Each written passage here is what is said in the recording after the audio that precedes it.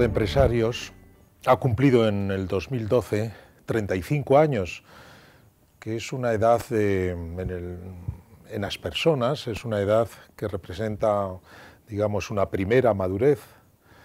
Em, yo quiero ver así también la trayectoria del Círculo de Empresarios, estos primeros 35 años, como una primera madurez. Ha contribuido y además eh, muy apreciablemente a la modernización de la economía española y también al fortalecimiento institucional de nuestra democracia. Nace eh, en un momento crucial, 1977, casi escoetáneo por días, por semanas de los acuerdos de la Moncloa, donde eh, lo que estaba en juego era la conquista de las libertades y de un régimen democrático para España, y había que una de las exigencias para conseguirlo, para crear las condiciones adecuadas, era hacer una política de saneamiento y de reformas estructurales. Y ha cumplido los 35 años en otro momento crucial, 2012, para la suerte de la economía española y para la suerte de la democracia española. Si entonces se trataba de sanear y reformar para hacer posible la democracia, me permito decir que ahora de lo que se trata es de corregir políticas de ajuste para darle calidad a la democracia.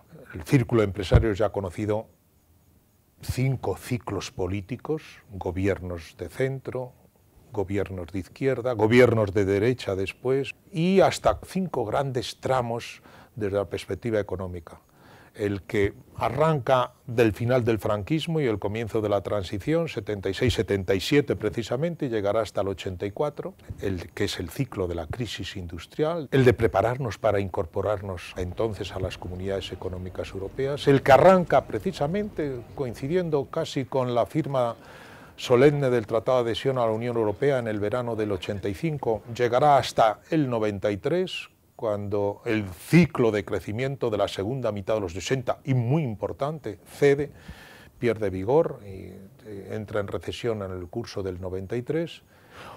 Un tercer gran tramo, casi 16 ejercicios, entre el 94, cuando comienza titubeantemente primero la recuperación, que se va a firmar posteriormente, y conoce un largo ciclo de crecimiento, 12, 14 años, hasta el año 7, mediados del 8, y, eh, digamos, se puede poner su punto final en el año 9, en el año 10, ¿no? cuando la economía española conoce los peores registros, sobre todo el año 9. ¿no? Y hay un cuarto, hay un cuarto, un cuarto tramo, que es el que arranca con las primeras medidas de ajuste a partir de aquella primavera del año 10, y se continúa, va a continuar durante el año 11, durante el duro verano del 12, hasta llegar hasta hoy, en donde finales del año, de otoño del 13, la economía española puede empezar a pensar que el rumbo hacia una recuperación está bien orientado, ¿no? se ha puesto rumbo hacia, esa, hacia ese horizonte promisorio. Hoy tengo el honor de presentar el libro 35 años del Círculo. El Círculo de Empresarios nació con la intención de acercar la sociedad española a lo que era el mundo del progreso, con el protagonista, el empresario, las empresas y el libre mercado. No podemos siempre hablar de lo que nos falta, pensemos también en lo que hemos conseguido. Es verdad que hace 35 años, cuando el Círculo empezó con estas ideas, la situación en España era enormemente intervencionista, era un país bastante cerrado a la economía exterior, no contaba con el mundo como una unidad de la que formaba parte y el recorrido de estos años ha sido enorme. Hoy la empresa española es internacional, es innovadora, han entrado las multinacionales, somos una potencia en muchísimos sectores, somos líderes en muchos sectores y sin embargo el camino que nos queda es grande, porque toda la idea nuestra es el gobierno y las administraciones públicas deben ser facilitadores de la iniciativa privada y sin embargo, aunque el porcentaje en el peso del PIB no es enorme, siguen teniendo un afán regulatorio que muchas veces lo que hacen es imposibilitar dificultar el desarrollo de esos factores de progreso que son las empresas.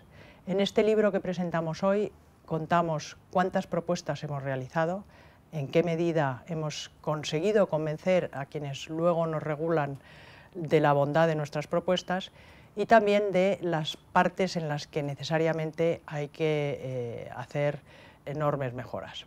Hemos hablado de educación, hemos hablado de déficit público, de consolidación fiscal, hemos hablado de impuestos, hablamos de seguridad social, de pensiones.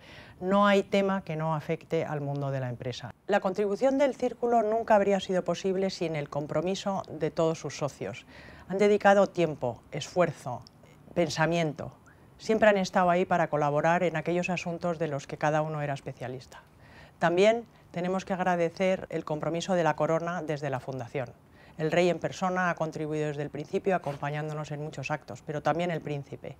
Y ahora, este año 2014, en la que el rey entregará un premio a la trayectoria empresarial, porque se trata de contar que los empresarios son factores de progreso, son los que crean empleo, son los que dan valor a una economía dinámica. Y el rey, una vez más, nos apoya poniendo su premio al servicio de esta imagen que queremos eh, presentar a la sociedad española.